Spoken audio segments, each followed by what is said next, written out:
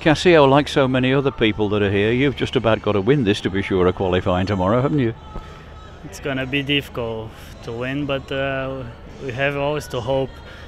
So we will try.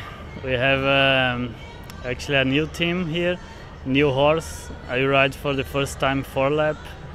It's the horse from Gregory Wathelet, rode before. He rode in double clear in Lummen, double clear in La Baule, and now I have the horse. So it's my first Nations Cup with him. He's doing well. I hope he can jump double clear again. He's got a big jump, huh? Yeah, yeah, sure. And then also we have uh, Onyshchenko with Valentino that he did really well last week in Valkenswaard, double clear. He rides also here on the team. And Katharina Offel, she rides for the first time uh, in the Nations Cup, the Stallion Quebracho Semilly. So quite a new team. We hope we can win. We hope we can do best than the others. And who is the fourth one? Ferenc Szentirmai. He rides Chadino, the stallion, black stallion, that he rode in Rome and San Gallen.